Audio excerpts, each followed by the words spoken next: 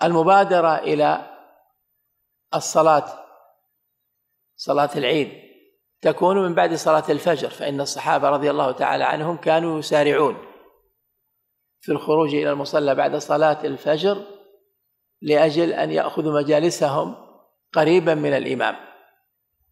فهذا مما يسن أيضا للمؤمن في يوم العيد أن يبادر إلى موضع الصلاة.